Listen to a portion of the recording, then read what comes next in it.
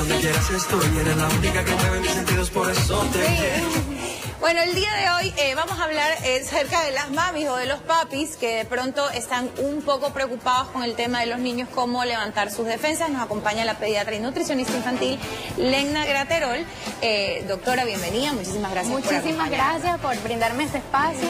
No, y bienvenida, porque sabe que es como una preocupación constante de los padres, aunque no sean del grupo vulnerable los niños, pero sí hay vulnerabilidades como alergias, asma y entre otras cosas más. ¿Cómo mantengo las defensas de mi hijo arriba? Bueno, esta es una pregunta que me hacen constantemente en la consulta y más sobre todo en esta época de coronavirus, de todos estos virus de la influenza. Eh, la idea es hacerlo de la forma más natural posible.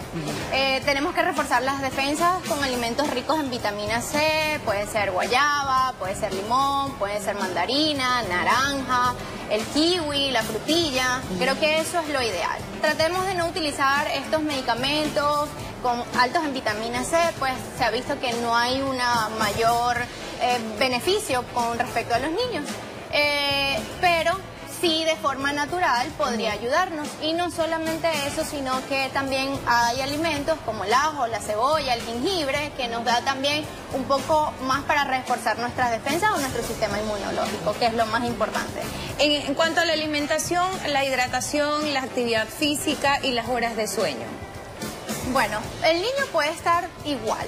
No es necesario cambiar ese, ese patrón que ya llevaba, porque a la final son niños. Entonces, lo ideal es que ellos sigan esas mismas actividades, pero obviamente teniendo precauciones. Precauciones con el lavado de manos, como evitar que si van a toser, enseñarlos a toser, no estar tocándose mucho la cara, lavarse bien las manos constantemente, tener antibacterial y yo creo que con eso es más que suficiente. Con eso, o sea, esas serían las medidas preventivas. Las medidas preventivas. Sin que nos aceleremos a que pueda pasar otra cosa. ¿Qué pasa con los niños eh, que tienen asma, con los niños alérgicos, con los niños con rinitis? Eh, ¿Ellos son, podrían ser un poco más propensos?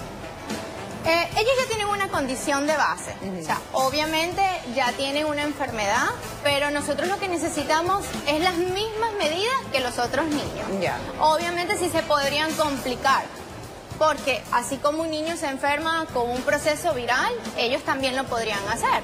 Pero con su tratamiento de base no creo que habría ningún tipo de problema. Volvemos con las mismas medidas generales y con eso más que suficiente. Eh, hay medicinas, por ejemplo, que yo tengo una nena de 11 años que es, eh, hace mucho ejercicio.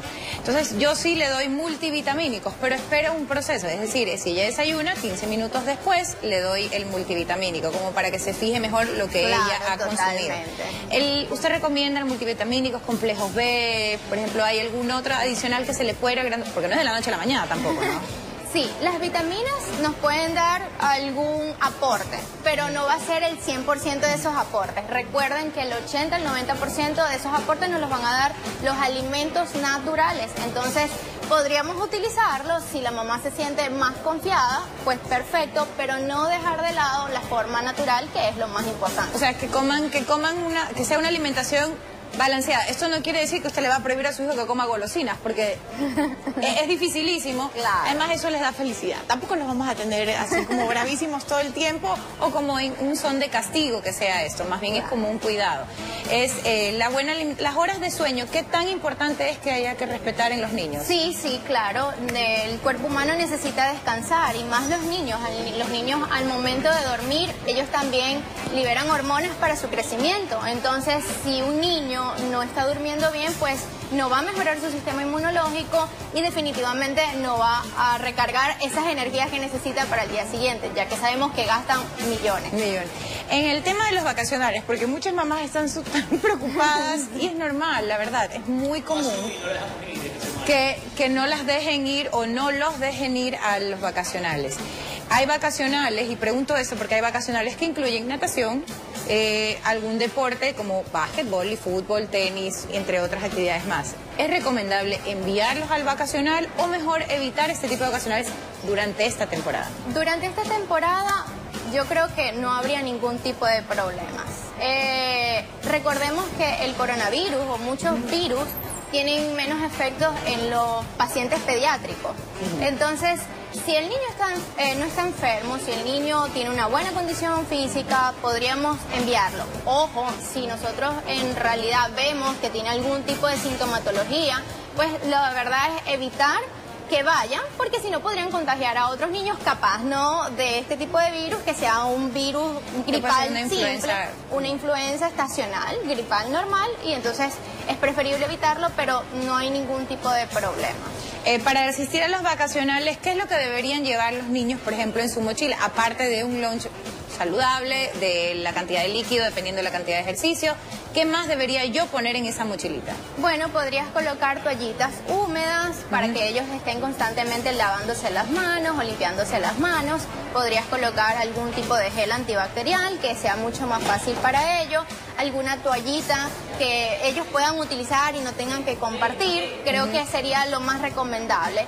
Ropa que puedan cambiarse y sobre todo... Que no se queden húmedos. Que no se queden húmedos, pero sobre todo eh, enseñarle al niño que- cómo es lo que, qué es lo que tiene que hacer y cómo lo tiene que hacer en cuanto a estas medidas preventivas. Con eso más que suficiente. Muchísimas gracias, doctora. Gracias a. Esperamos que ustedes sigan las recomendaciones. Yo sé que es dificilísimo y por favor, para los niños que tienen alergias, eh, y si usted lo ve toser, no se altere. Hay un sonido, una tos y hay cosas que usted puede hacer preventiva para los chicos con ciertos procesos o ciertas condiciones que ya las tienen, que usted como madre sabe.